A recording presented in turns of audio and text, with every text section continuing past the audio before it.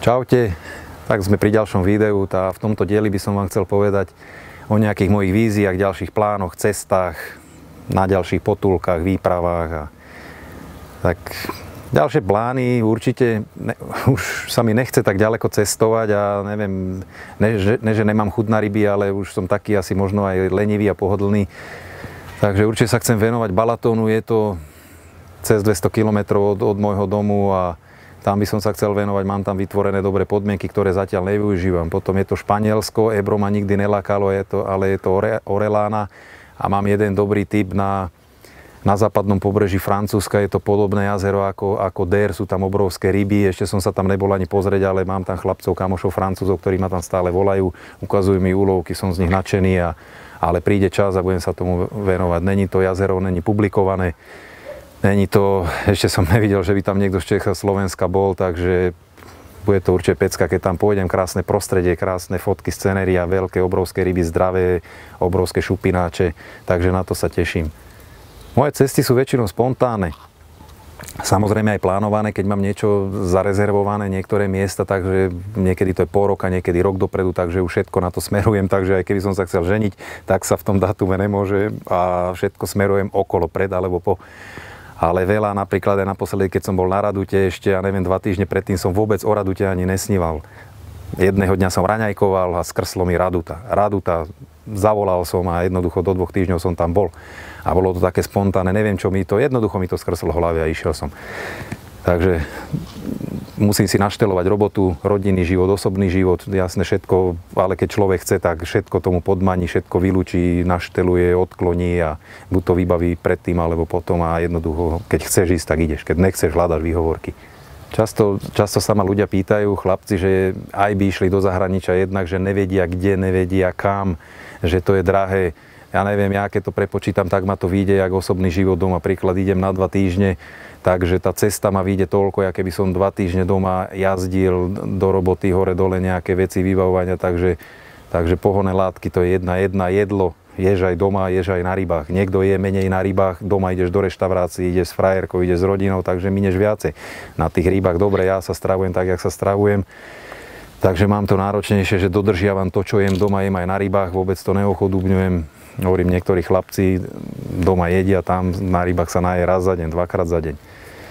Takže a tá povolenka, dobre sú drahé, drahé revíry, tak si vybereš lacnejší revír, alebo, alebo tam je štátna povolenka okolo 100 eur, dobre nejaká rezervácia je drahšia, ale hovorím, dá sa to miesto hľadať v rámci toho, kto na čo má, kto si na čo trúfne, a, ale hlavne treba ísť. Ja takisto som začal, som nevedel reč, nevedel som, nevedel, nemal som ani počítač v tej dobe, takže nevedel som Nevedel som si nájsť ani nejaké reglementy ako pravidla. Prvé, čo som našiel odstrašujúce, že keď budem chytať po určitom čase a budem chytať tam, kde sa nesmie, že dostanem 10 tisíc eur pokutu a zoberú mu celý výbavu. Toho som sa najviac bál, že by mi niekto zobral udice, čln, sonár. To by som v živote z ruky nepustil. Neviem, asi by ma museli zavrieť. No ale...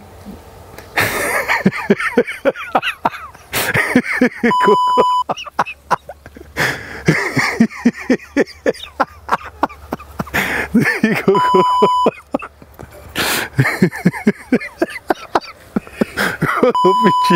Takže jak tam přijdou a berou ti ty věci. Čo ti jebe, ja by museli jebnúť jako tu na letisku dole do piči. Takže takisto prvý raz, keď som bol na Oriente, tak ja som to spomínal už minule. Jazero ma očarilo, videl som ho z časopisov, no z časopisov, z jedného časopisu boli tam tri fotky, ale mne sa strašne páčilo to bahno, tie, tie zrezané stromy, korene odhalené, no a jednoducho som k tomu došiel, že kde to je, jak to je. No ale nikto mi nevedel povedať podmienky. Nakoniec som zistil, že v blízkosti Orientu je nejaká krčma, tam nejaký starý pán predáva povolenky. Prišiel som tam, vôbec si ma nevšímal, hral gulečník, pil červené víno, mačky tam behali, taká krčma, že jak to, keby som bol u neho doma.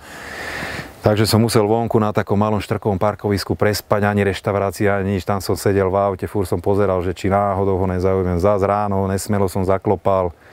Dobre, prišiel som tam, čo vlastne chcem. Hovorím fishing, pozeral, nejak to pochopil.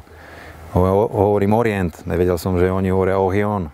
Ja som hovoril Orient, Orient, a tak potom pochopil, mi predal povolenku, prišiel som tam a chytal som. Tak to bolo. Dneska chlapci Jednoducho, ja som sa učil ruštinu, aj to som, neviem, či pomaly neprepadol z toho. Učil som sa nemčinu, ktorá ma nebavila, ale angličtinu som sa naučil tak, len čo som komunikoval s francúzmi alebo z bežných vecí, čo je na výrobkoch napísané, takže to je celá moja angličina, ale dohodol som sa, lebo jednoducho som chcel. Otec mi dal starú mapu z Trambusu, z nákladiaku z liasky, vytrhané strany, masná bola, zabočil som do odbočky, videl som tam na stĺpiku, ja neviem, číslo cesty E12, áno, je to ona, odbočil som, išiel som, koľkokrát som sa pomýlil, takže to bolo celé, nemal som navigačné, nemal som nič. Ale išiel som a prišiel som na Orient na zjazd do vody, kde šťukári dávali loďky dole. A tam som aj chytal, aj som chytal, chytil veľké ryby a to a nakoniec som zistil, že to je úplne jednoduché. Dneska chlapci, ukáž mi kde, čo, jak a že by som nechcel, ale nech sa potrápia a mi to je úplne jedno, či pôjdu alebo nepôjdu. Hm. A určite toto, toto doporučujem, lebo tí, ktorí potom túžia, nech to jednoducho splňa, či to dopadne dobre alebo zle môže to trvať aj dva dní, kým začne chytať.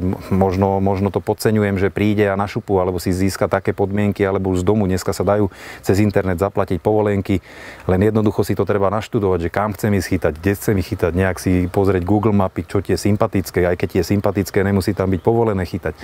Ale hovorím, každopádne nech si to skúsi, ten, kto chce ísť a má to odhodlanie, len ľudia skore, ak to vyskúšajú, tak hľadajú 5, 10, 20 príčin, ako tam neísť a aj tak to zavrhnú a aj tak sa mi to nepodarí a aj keď nič nechytíš, ale je to nová skúsenosť. Tú prvú rybačku aj ja koľkokrát som nič nechytil, ale bral som to jak taký check-in prieskum jazera. Ja hovorím, po 1, 2, 3 dní už si pripadám na tom jazere, keby som tam celý život žil. Viem, že správa vyletajú kačice, ja neviem, večer zľava vylietávajú sovy, večer tam šteká srnec a v noci ťa napadne líška, ti zožere veci alebo odnese pitel, pitel s bordelom a akurát mám jazdu. Takže raz ťa to ide sekať a za chvíľu sa vidíme. Ver.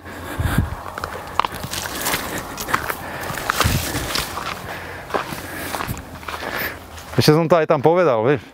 No tak bol to malý taký 5-kilový kapor, ale hneď bol aj na druhej, ešte keby sme, keby sme tam nestáli, raz ťa hovorí, že pozri, že šponuje sa vlasec. Pozerám, začala sa klepať špička, ani to nepiplo, dvihol som to a bol tam aj druhý, no ale také hovorím okolo 5 kg kapre.